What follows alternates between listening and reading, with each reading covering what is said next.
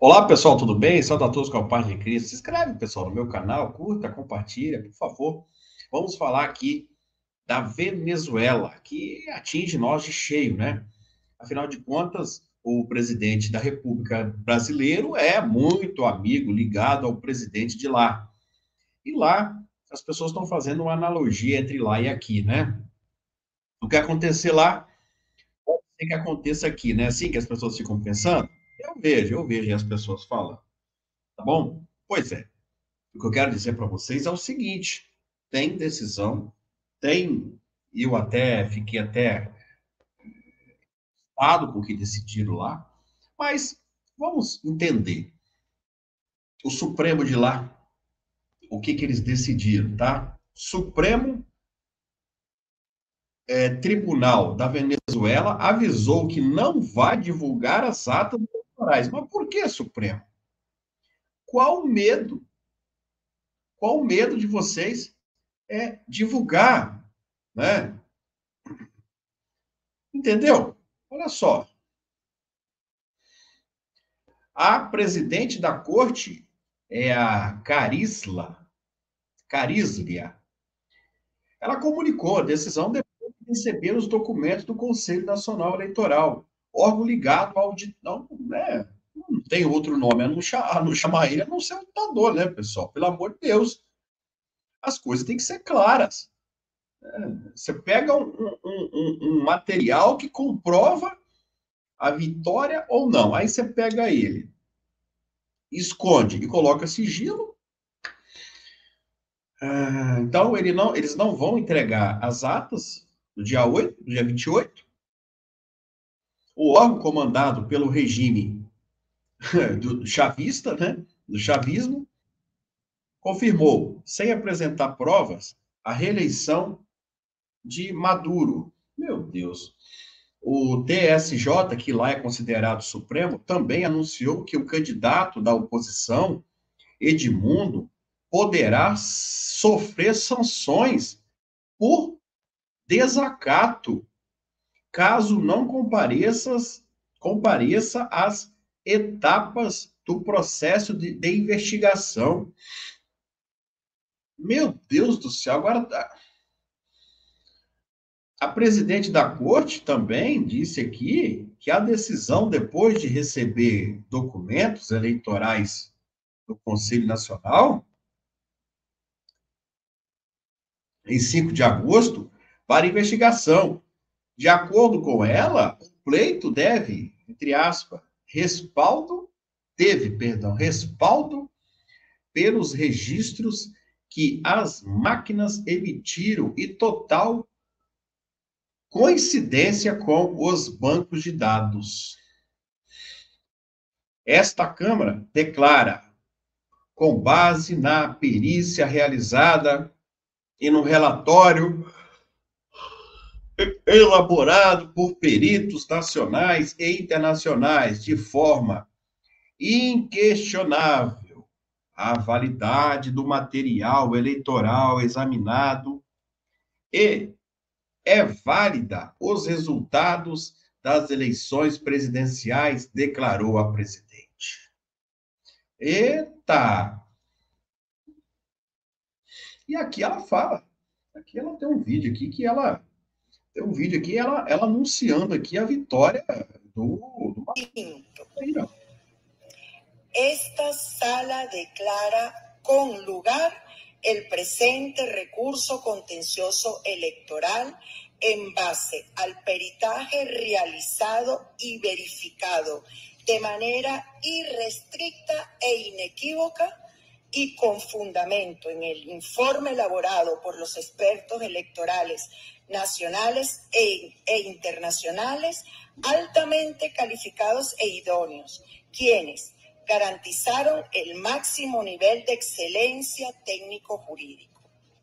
Certifica de forma inobjetable el material electoral peritado y convalida esta sala los resultados de la elección presidencial del 28 de julio del 2024 emitidos por el Consejo Nacional Electoral donde resultó electo el ciudadano Nicolás Maduro Moros como presidente de la República Bolivariana de Venezuela para el periodo constitucional 2025-2031.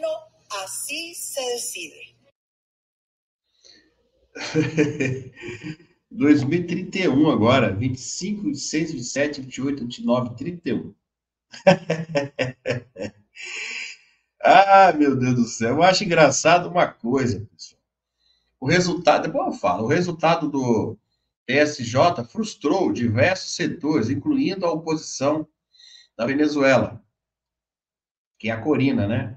E a comunidade internacional que pediu maior clareza e a divulgação das atas para verificação independente dos resultados. Liderada por Marina Corina, a oposição alega que as atas indicam ampla é, vitória do candidato Edmundo. Observadores internacionais da organizações da, da ONU e do Centro é, Carter apoiam as alegações da oposição. Elas atestam que houve fraude no resultado do CNE. Esse papinho, esse papinho que ganhou e que não ganhou e que não aceita e tal, tal, tal, esse papinho é para cavalo dormir, né?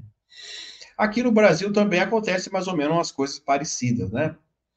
Nós tivemos os vazamentos aí do assessor de Moraes, onde há ilegalidade naqueles, naquelas conversas, ele abriu o um inquérito para poder investigar quem vazou. Ou seja, quem vazou é que vai responder, mas as ilegalidades não. Então, é, é um negócio esquisito. É a mesma coisa que uma pessoa tira a vida da outra e vai lá e prende o defunto. Né? É, é um negócio que não está tá dando para entender. E agora está, está confirmado, né? O Maduro ele é o presidente da República, empossado pela Corte Suprema, e, e vai ficar por isso mesmo. A Corina ela não tem força, né, para poder tirar o Maduro de lá. A não ser que o exército brasileiro fizesse uma parceria. Que exército brasileiro, que doideira. O exército brasileiro não está resolvendo nem as coisas daqui, vai resolver lá na, na, na, Venezuela, né? Inclusive tem lá, né? Tem lá, soldados do exército brasileiro lá. Eu não sei fazendo o quê, mas estão lá. Então, a Corina, ela teria que ter o apoio do exército venezuelano. E ela não tem. Ela tem apoio popular, mas já há praticamente 30 dias ela não tem apoio, é, é, é, esse apoio popular, perdão, ele não serviu até a presente data para poder ali ir lá e derrubar o Maduro, né, pessoal? Não teve esse apoio ainda. E quero te dizer, pessoal, meu pai sempre falava, tem que resolver as coisas com sangue quente, né? E pelo que a gente vê, cada vez mais o tempo vai passando, as pessoas vão se acostumando. Mais um capítulo e mais uma legislatura do regime Maduro, né, que vai perpetuar mais até 2031 no poder.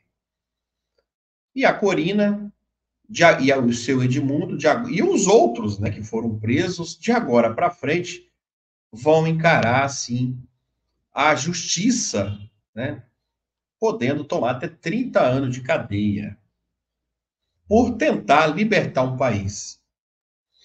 Só que eu quero dizer uma coisa: pessoas foram mortas, pessoas foram presas e ainda estão. Essa mulher arriscou a vida dela, o Edmundo também.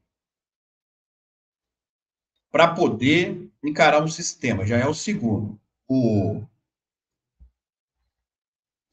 o Guaidó fez isso e correu.